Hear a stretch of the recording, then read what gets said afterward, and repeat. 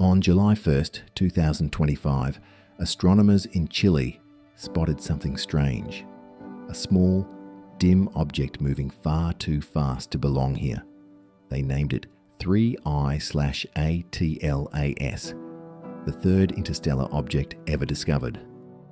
I means interstellar, a traveller from beyond our solar system. It's moving at 58 kilometres per second, faster than anything the Sun can hold.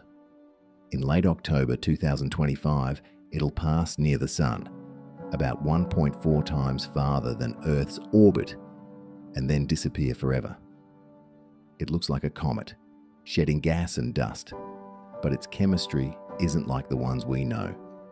It carries frozen carbon dioxide and carbon monoxide, traces of a world that formed around another star billions of years ago.